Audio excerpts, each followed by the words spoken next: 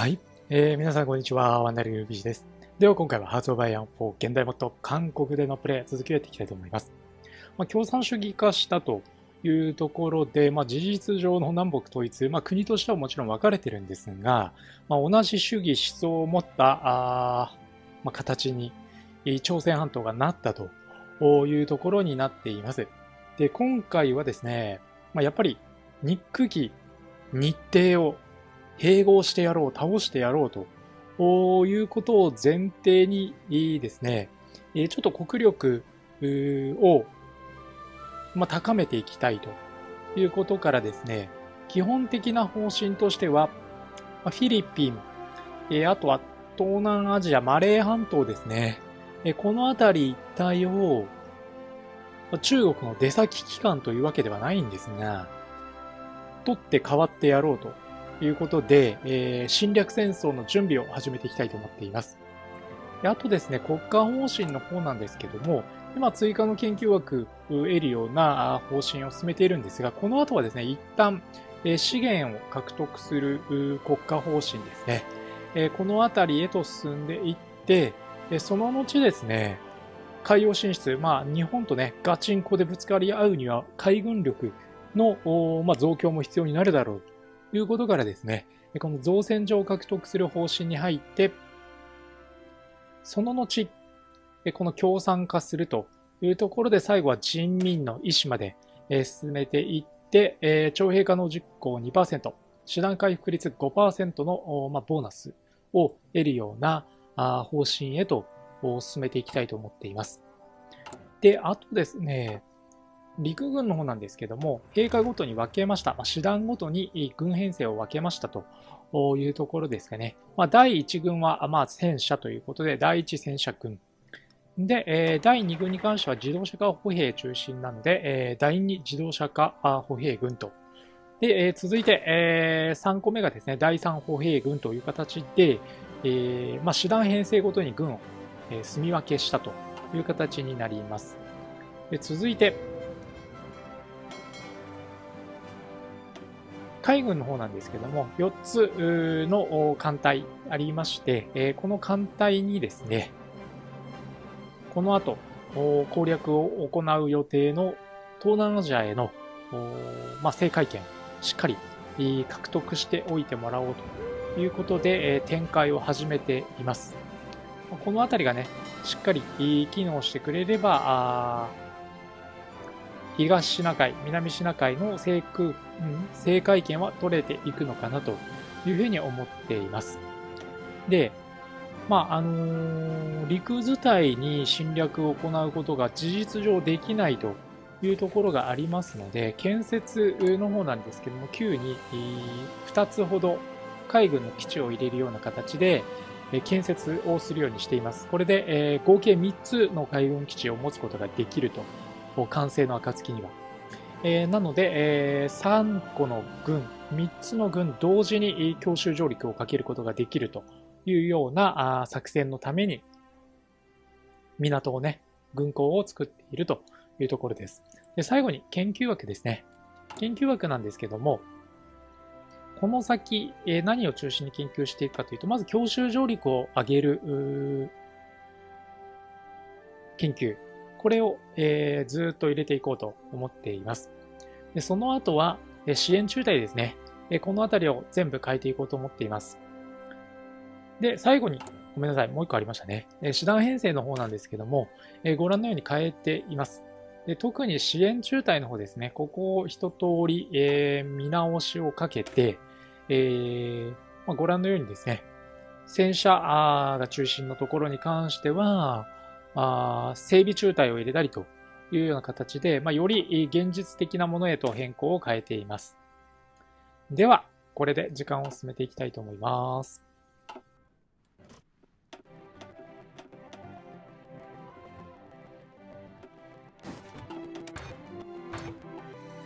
で、あとですね、えっと、外交方針なんですけども、北朝鮮に関しては一貫して、えー、融和政策を取っていきます。中国ももちろんね、付き従う最後まで。で、えっ、と、最初の侵略目標なんですけども、フィリピンに定めようかなと思ってまして、フィリピンに対しては、まず政党支持工作で共産化を狙うと。で、さらに、クーデターの工作も行って、フィリピンの南部ミンダナオ島をね、中心としたところに、共産主義者によるクーデターを起こさせると。クーデターが起きたタイミングでね、えー、強襲上陸をかければ、まあ、よりその成功率が高まるということを、えま、考えています。普通にフィリピン軍とガチンコで、え、強襲上陸して戦っても、まあ、勝つにしろ負けるにしろ、とんでもなく損害が出てしまうというのがあるので、できればね、内戦状態、混乱が起きているタイミングで、えー、強襲上陸をかけて一気に選別していくというのを、まあ、この計算に入れています。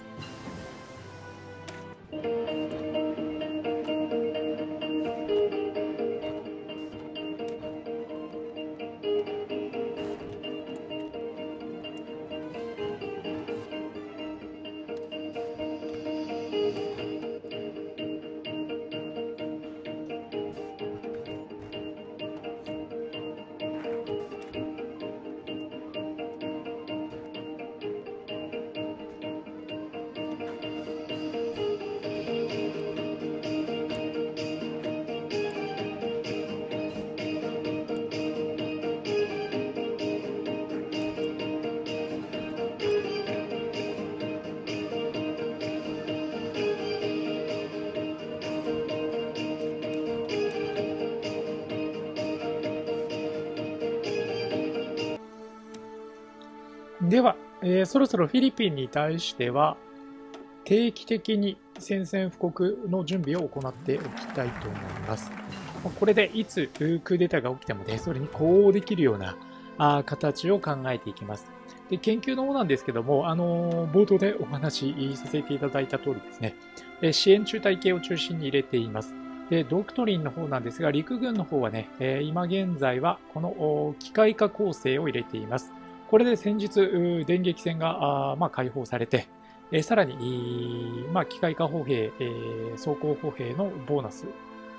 統制率に対するボーナスが15%、あ15効いてくるという内容ですね。これを今入れています。で、この先はね、この下ずっと進んでいって、大規模な戦争を耐え抜くためにですね、最終的にはあこちらの左側の路線に入っていて、えー、徴兵可能人口を増やしていこうという目算になります。で、この後ドクトリンの方なんですが、陸軍続いて海軍の方は、貿易阻止を選んで、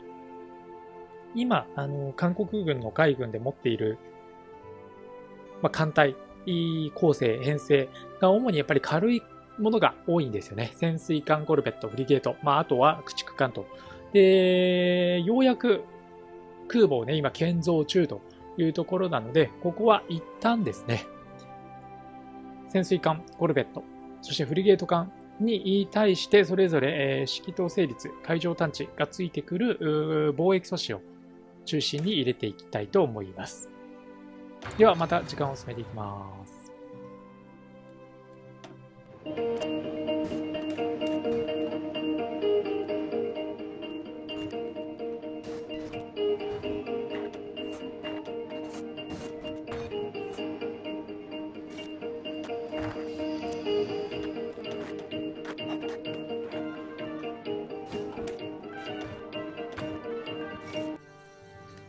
え、ではね、フィリピンに攻撃目標、侵略目標を定めましたので、フィリピンに対してはですね、いつでも強襲上陸がかけられるように、強襲上陸の準備に入っていきたいと思います。で、えっと、クーデターのタイミングと歩調を合わせたいというのがあって、クーデターをね、えー、まあ、フィリピンの中でいう南側のミンダナオ付近で、えー、クーデターを起こさせて、えー、北側に展開する首都マニラをガラ空きにさせたいという意図からまあ、今回ね、フィリピンの南部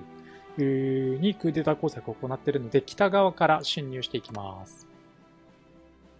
で、機械化歩兵、あとは単なる歩兵と、3つの軍を同時に強襲上陸をかけるためにですね、まあ、今回、新しく港、軍港を作ってますので、そこはブレない動きをしていきましょう。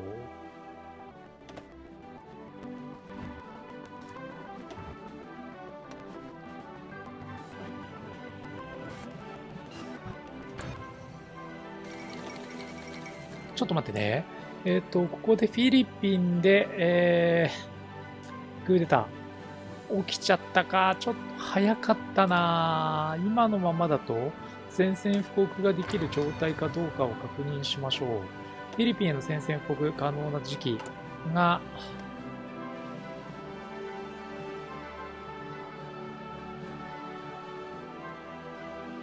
えー、っと、今だと、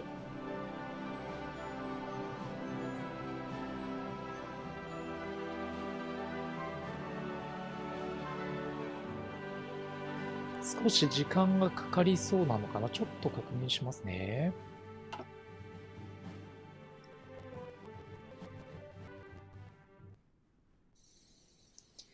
フィリピンに対しては6月に可能という状態で、まだまだ先は長そうというところなので、まずは義勇兵を出します。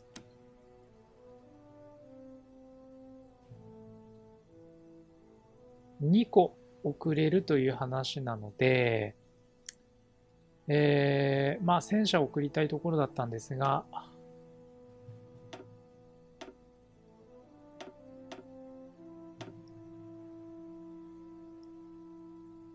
この第4、うん、機械化歩兵を送りましょう。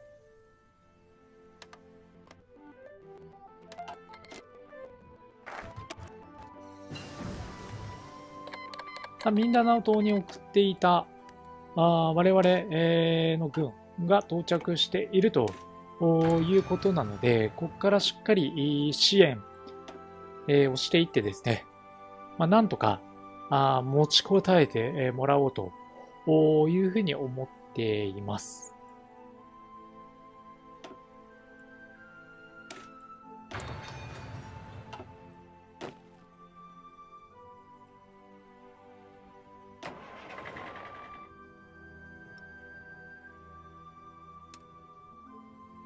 まあ、絶対死守したいところ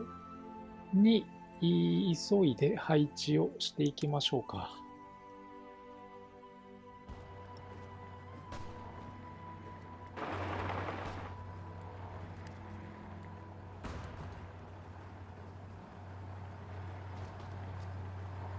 いやー、押されに押されてるな。ちょっと待ってね。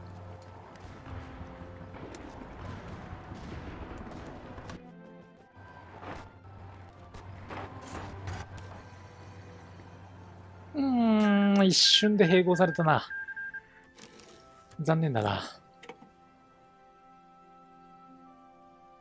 ちょっとタイミング的に合ってなかったんですかね。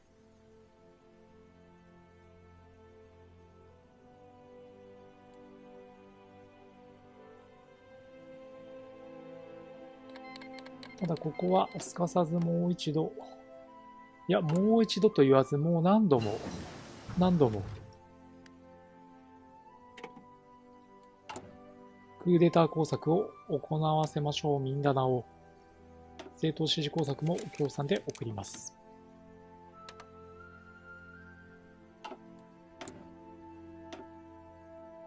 タイミングがね、バチって合えば、とてつもない効果が得られると思うので、まあ、ここは繰り返し繰り返しやりましょう。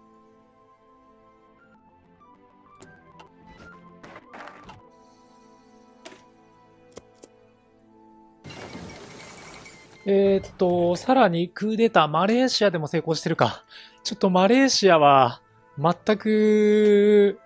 念頭に入れてなかったんですが、マレーシアに対しても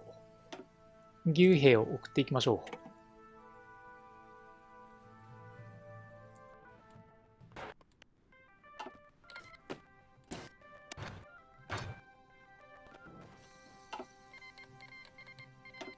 では、義勇兵、マレーシアに到着してます。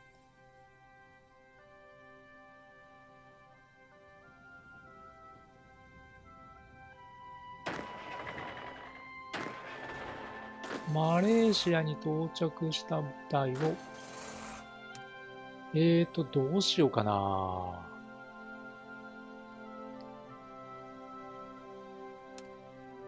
まあ、一旦しっかりここで防衛線を張るというのと、あとは、マレーシアに対しても、えー、宣戦布告をしておきましょう。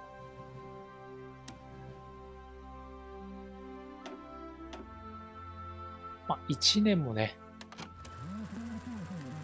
この戦いが続くともちょっと思えない状況ではありますが、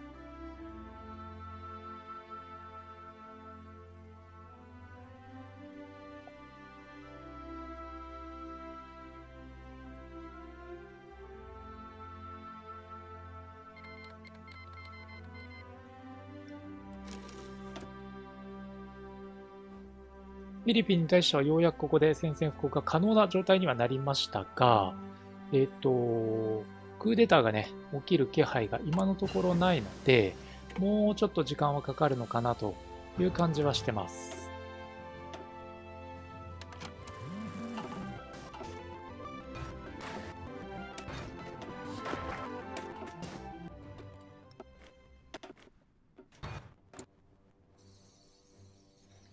えー、そしたら一度宣戦布告しましょう。えー、もう危険がいっぱいいっぱいになってますので、えー、一度宣戦布告をします。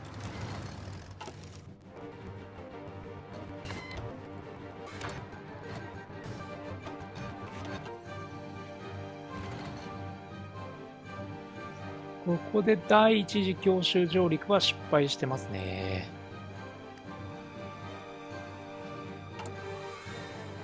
そうなるとクーデターが成功したタイミングで強襲上陸をかけていこうということになるので、ここからも定期的に強襲上陸を支持していくということになろうかと思います。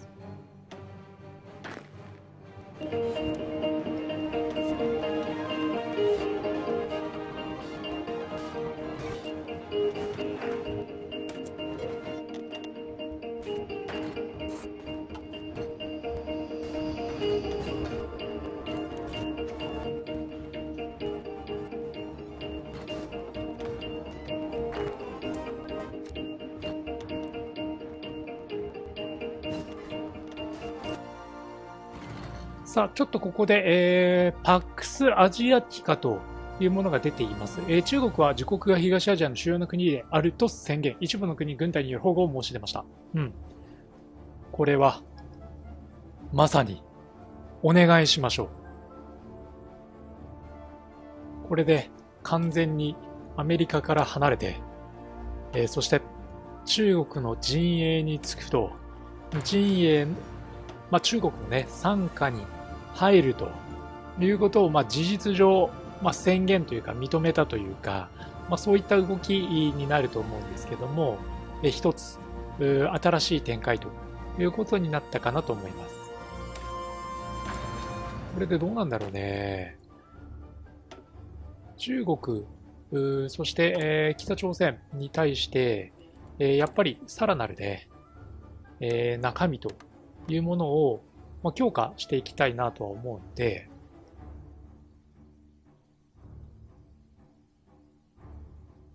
関係をね、改善して、中国が陣営を立ち上げたタイミングで即座に仲間入りすると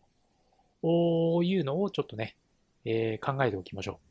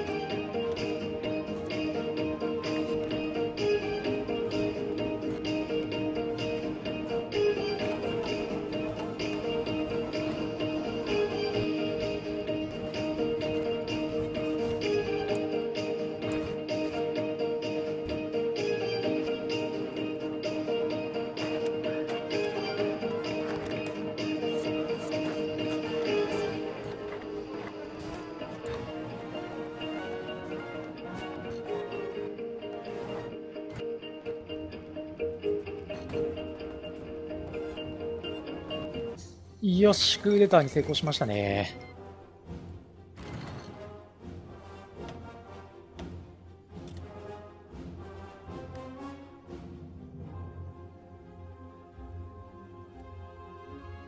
ちょうど強襲上陸もかけてくれているという、まあ、いわば絶好のチャンス。ここを逃さずに行きたかったけど、強襲上陸できていないかな？できてないな。いやー、もったいないタイミングだな。えー、急いで強襲上陸。もう一度、おかけに行きましょう。義勇兵も出したいけど、今その、編成を、えー、いじる暇がない。入国権の要求は OK だ。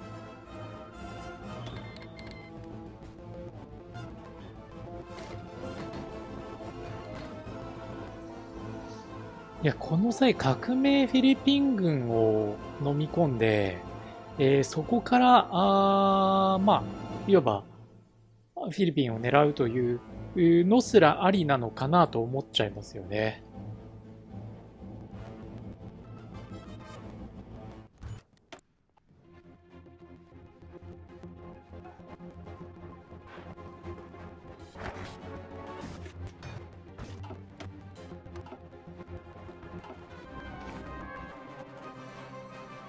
さあ、ようやく強襲上陸ができた。えっ、ー、と、だいぶ長くなってしまってるんですけども、ちょっとここはね、えー、強襲上陸に成功したよというのを思って、えー、一旦じゃあね、ちょっと今回はここまでにさせていただこうかなと思います。で、あと強襲上陸成功してるので、えっと、港を押さえているというところからね、後続の部隊を、え送り込んでいこうというふうに思います。ではちょっとね、だいぶ長くなりましたが、いよいよ、共産主義、韓国、そしてね、中国の軍の傘下に入ったと言っても過言ではないこの状況で、えー、侵略戦争を始めていきたいと思います。はい、えー、ご視聴ありがとうございました。この動画が面白いと思った方はチャンネルの登録をお願いいたします。動画の視聴画面の下の方からチャンネル登録することができますので、ぜひよろしくお願いいたします。また、動画の解説欄に Twitter のリンクも貼ってありますので、ぜひ Twitter のフォローもよろしくお願いいたします。